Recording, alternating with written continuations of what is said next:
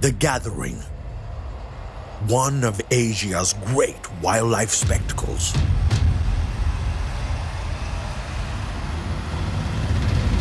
One hundred and fifty or more elephants gather for several weeks in one concentrated spot at the Minneriya National Park.